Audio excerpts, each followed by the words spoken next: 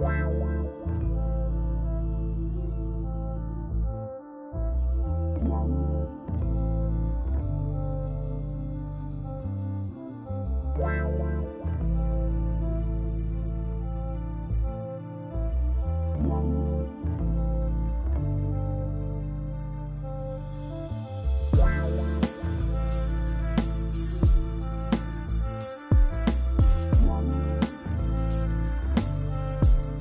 jump on that car, and I'm gonna kick your butt.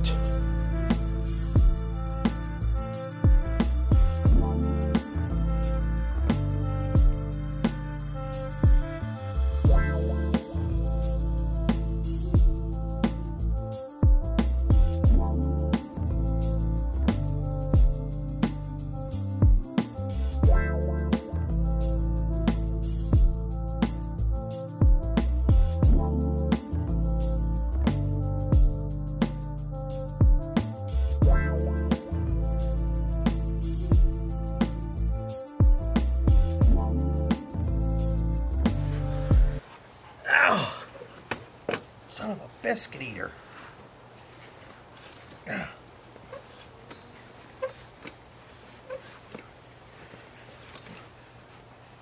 Try to get somewhere a little more stable. Is that stable enough for you?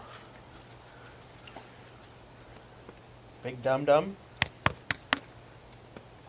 Okay. It's been a while since we've done a video. Huh? Haven't had much going on. But uh, as you can see, we got something new here. We'll talk about here in just a second. Um, haven't really felt like making videos because there hasn't been a whole lot new going on. Now I feel like we have something to talk about.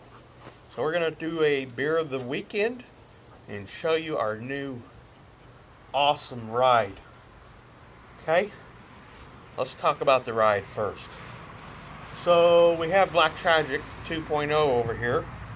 It's on 32 inch tires, which aren't super big by today's standards, but still, this is not the ultimate commuter vehicle.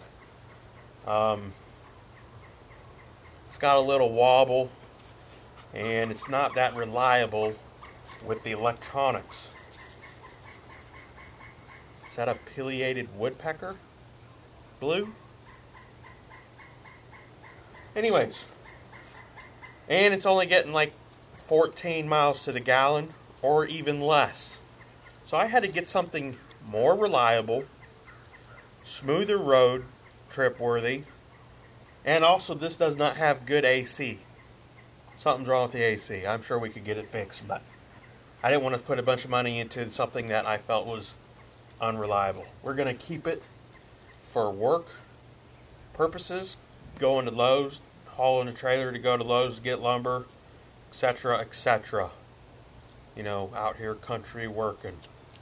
Um, so what did we get? Fancy, fancy. 2003 Lincoln Town Car with 115,000 miles.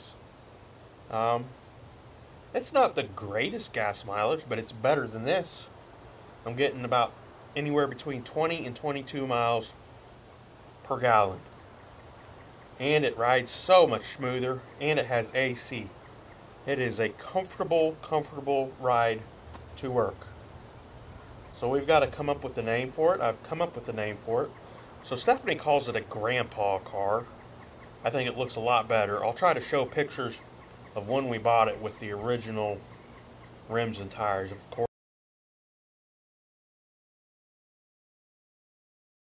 We updated the rims and tires.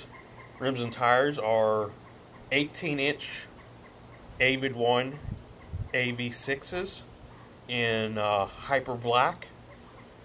Um, so we did that, got the new rims. I don't tell Stephanie this. I did lower it a little bit. Uh, it was pretty much free to lower. I just had to buy a uh, spring compressor from Harbor Freight. I didn't lower it much, maybe an inch. The tires that are on it are low profile, so that lowered it about an inch, and then I lowered it about an inch more. So it's still higher than her van is. So don't tell her that. Okay? She said, if you get that, do not lower it.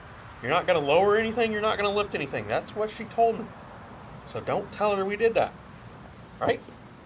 So, the name of this, so she calls a grandpa car. Other people call this a pimp car. You know, you might see a pimp driving one of these cars. So we're going to stick with the pimp. I'm a don't hate the player, hate the game. So this car is going to be called Luxahoma Lover because I'm a lover. I'm not a hater. I'm not a fighter. I'm a lover. Okay?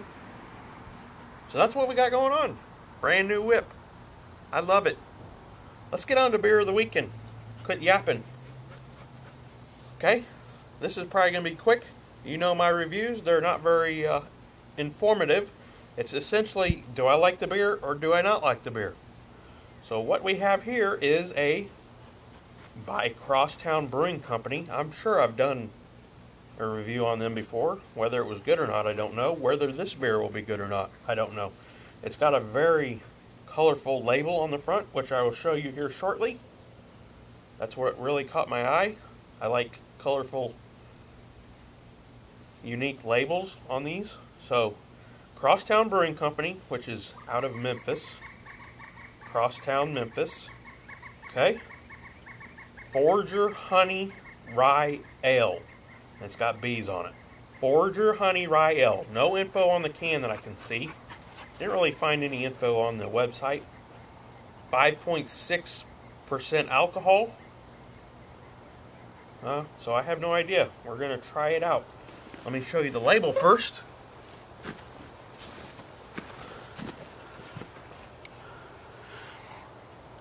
very colorful label. Got some bees on there. That is a wild label. All right, let's get into it. Oh, if I don't fall out of the chair. So it's pretty much spring here. Got the birds chirping. It's fixing to be mowing season. Uh, talking about bees. So my front yard has a lot of weeds, weed flowers. I haven't mowed it yet. I want to leave those weed flowers out as long as I can so the bees and the butterflies and all that have a chance to do their pollinating thing. Once the grass starts growing up and it gets unruly, I'll have to mow it, but we'll leave it like that for the time being. Let's see what this thing smells like.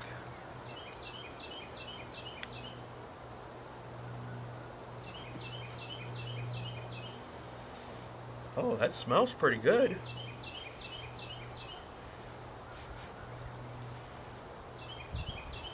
I want to say, you know how this thing goes. I want to say it almost smells like honey Cheerios with maybe just a hint of beer smell.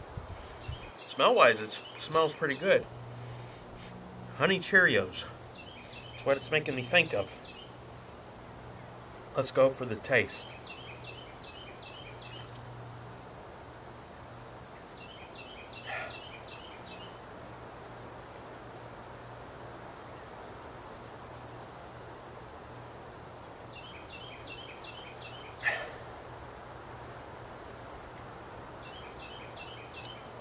That's pretty doggone good. I am not disappointed.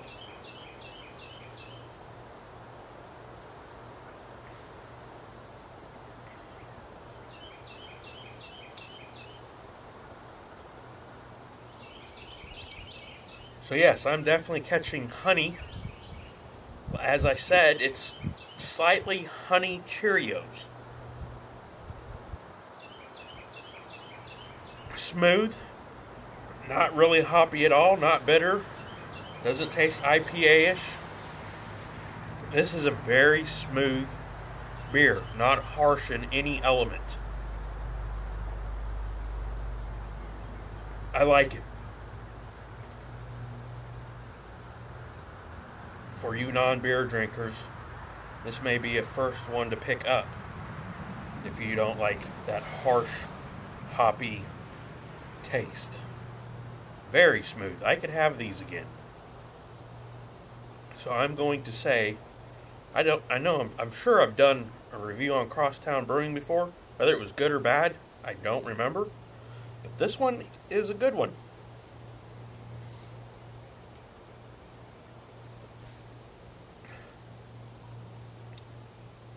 Yes. So, for the vote, let's go ahead and do the vote on this. I'm going to go ahead and give this either a 9, definitely a 9, possibly a 10, depending on the day. 9 out of 10, possibly 10 out of 10. Good job, Crosstown Brewing Company. I like it.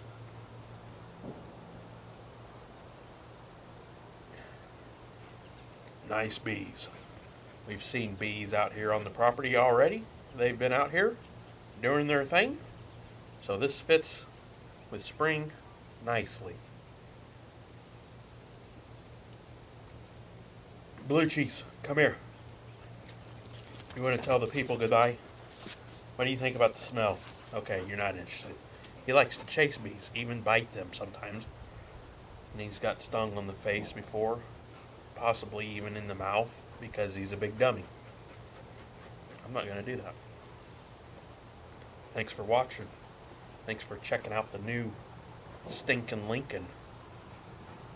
Luxahoma Lover. I need a license plate or something that says Luxahoma Lover. So I can display my grandpa car proudly.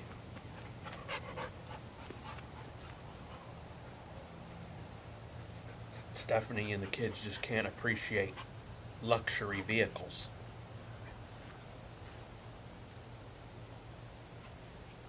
That's all right.